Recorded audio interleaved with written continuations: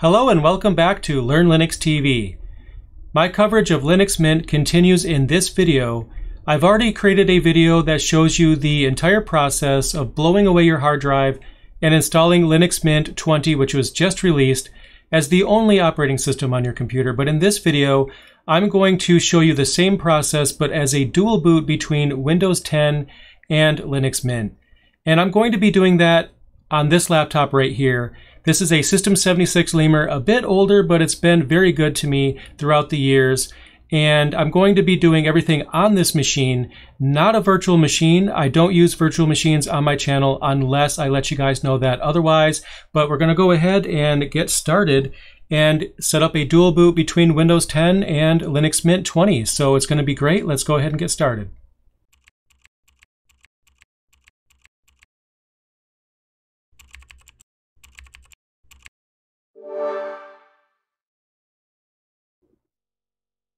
So here we are on my laptop with Windows 10 installed. We can go ahead and get started.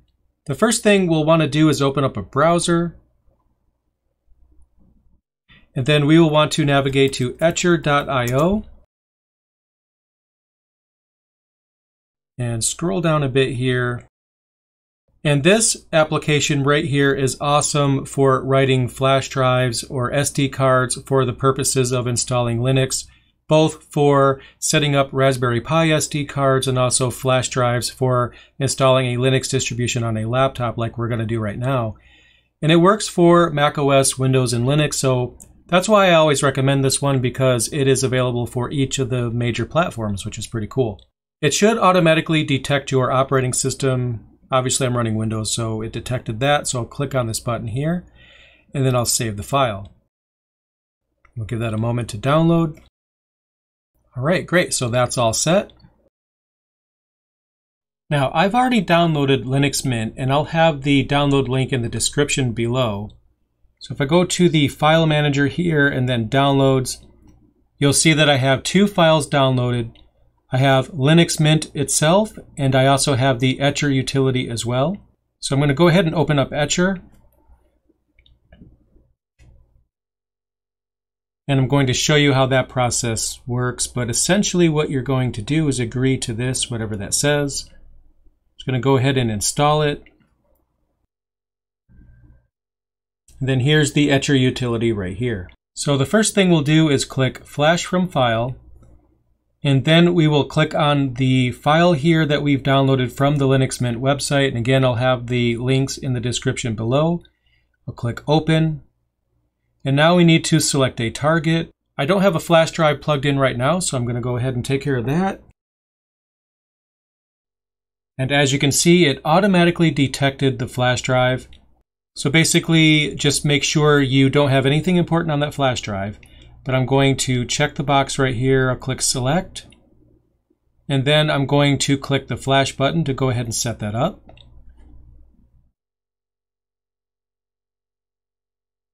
And then I'll give this a moment to complete and I will be right back.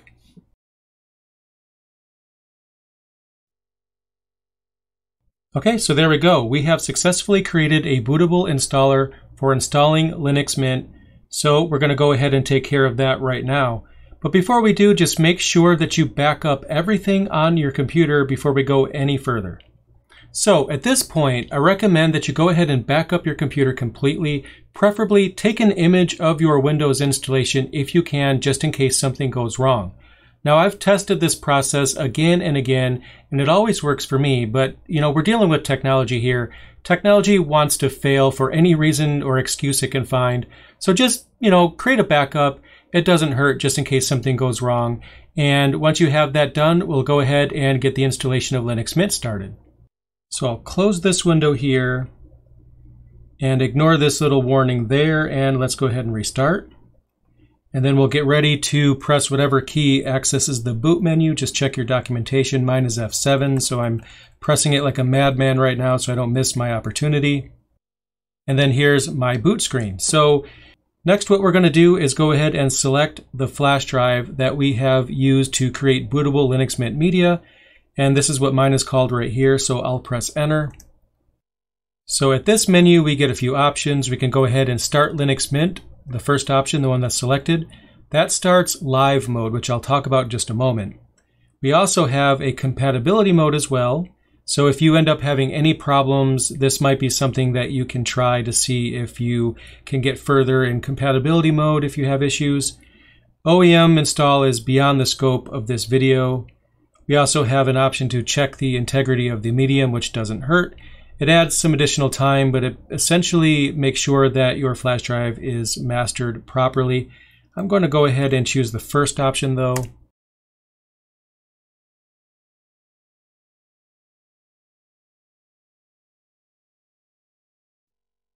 And here we are. We are successfully running Linux Mint right now. This is live mode. This is awesome. If you didn't already know about this, essentially this allows you to use your flash drive as if it was an actual hard drive inside the computer. Basically, Linux Mint is running off the flash drive directly and it will run a little bit slower most likely than it will when you install it to the actual hardware, but it does give you an option to test Linux Mint to make sure that everything works before you go ahead and install it. And that's exactly what I recommend you do. I get comments every now and then about people that go ahead and install Linux and then um, you know something doesn't work maybe wi-fi doesn't work dual screens that doesn't work or something like that always test the distribution before you install it and you'll never have that problem. So what I'm going to do is test the internet. I'll just go ahead and connect to Wi-Fi.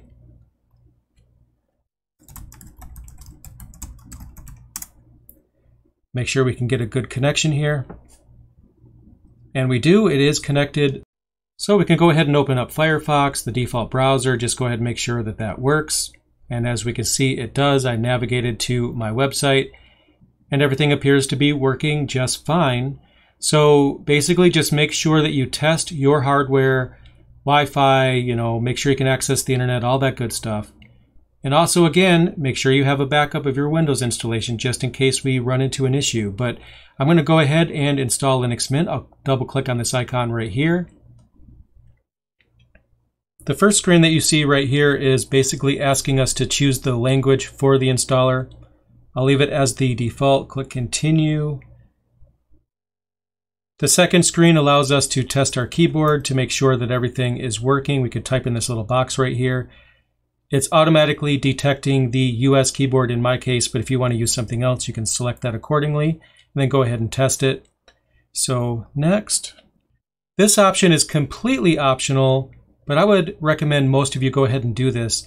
If you have any plans of enjoying like media files, you know, like MP3s or video files that you may have downloaded, it's probably a good idea to check this box. Even if not, if you ever will be in a situation where you might have locally stored media on your computer, it's probably just a good idea to check that box. I can't think of any downsides, so we'll click continue. Now here we have the installation type selection screen, and this is where we go ahead and choose what kind of installation we want. Normally, I would just choose this option here, erase disk and install Linux Mint, but that's not what we're going to choose because we want a dual boot. And that was automatically selected, install Linux Mint alongside the Windows Boot Manager. Great. It's telling us that the personal files and data that we have is supposed to be kept, and it's telling me that it's going to give us the option to choose which operating system we want when the computer starts up. So that definitely looks like the option we want, and it is. So just make sure that this is selected and then click continue. And then at this screen, we can decide how much space we want to give Windows and how much space we want to give Linux. In this case, when I installed Windows 10, it was installed taking over the entire hard drive. It's a 500 gig hard drive, as you can see right here. And when I installed Windows 10, all 500 gigs were allocated to Windows. Now, what this screen is allowing us to do is choose how to divide the hard drive. We can give basically more space to Linux Mint. You know, I can go ahead and go all the way down here, although we probably shouldn't. Don't want to have too little, and then we can go all the way to the right to give more space here to Windows. So I like to have it probably somewhere in the middle. You want to make sure, though, that you don't give either one too little space. Just give them both some room to grow, spread their feet a little bit, and adjust this however you see fit. And then when you have it adjusted, just click install now. And it's basically asking us, you know, do you really want to do this? Because this is the point of no return. Since you have a backup and an image of your drive, this is no concern to us. So we'll click continue to confirm that. and yet another point of no return.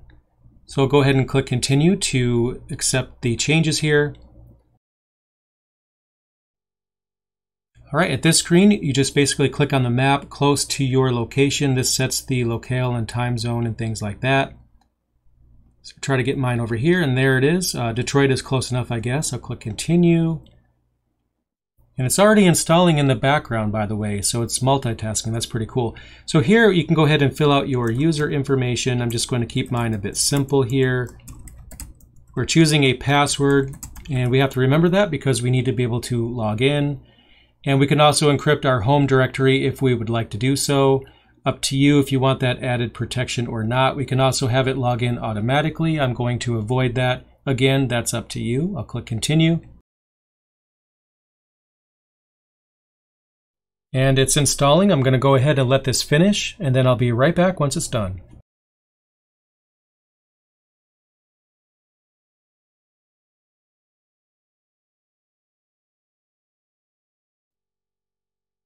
So with this message, it basically confirms that the installation process is complete. Was it a success? Let's go ahead and click Restart Now and see for ourselves whether or not this worked. Just like it says, I'll remove the flash drive, press enter. So here we have the boot screen. So Linux Mint 20 is the first option here. So I'm just going to go ahead and let this finish. I'm not going to press anything.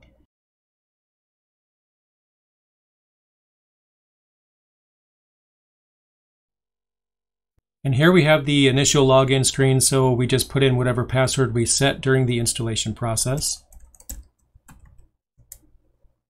And well, there you go. Linux Mint was successful at least, so we do have that installed. Now the question is, does Windows still work? Let's go ahead and find out. I will reboot again, and I will select Windows when I get the option at the beginning.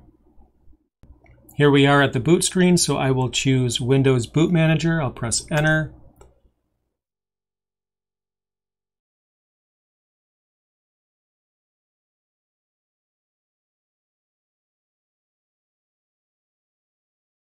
So there you go.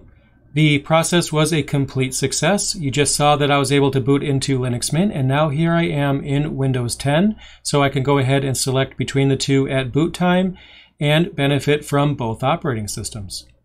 So there you go. That was my process for setting up a dual boot between Windows and Linux Mint. I hope that helped you out. I hope you enjoyed that. So let me know what you think in the comments below. And if you enjoyed this video, please click that like button because that lets YouTube know that you want to see more Linux content just like this.